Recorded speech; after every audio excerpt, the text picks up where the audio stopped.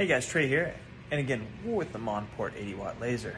I've had a few questions here recently on how to tighten the belts, or I have belt skipping, or a little bit of wobble. Let's see how we tighten them.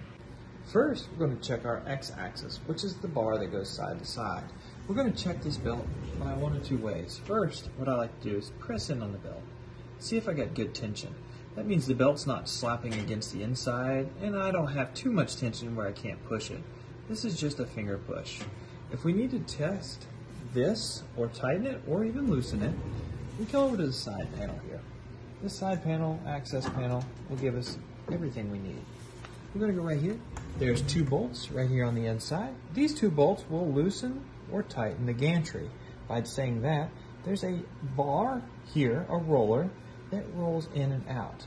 As you tighten it, obviously it's going to pull it back and make this belt super tight. If we loosen it, we may loosen it too much. So again, what I like to do is make a couple small increment turns and double check with your finger. So here we're going to check our y-axis. And these are the y-axis here, which go front to rear of the machine. We have one on both sides of the machine. They're set up the same way.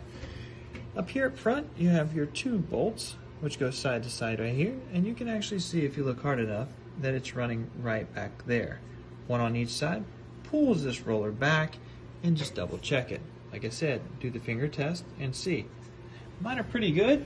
They may need to tighten up here, here soon, but I'm good with it right now. I have no slop or any movement. So that's a quick way to test to see if you have too much slop or not enough. If it's too tight, you can wear your belt out just as well as if it's too loose and you start skipping teeth. Just double check them and play with it. If you see any wobble or anything, you may give it a little half turn just to check it. If not, you're good to go. But that is, if you ever need it, reference on how to tighten or check your belts on the Monport 80 watt laser.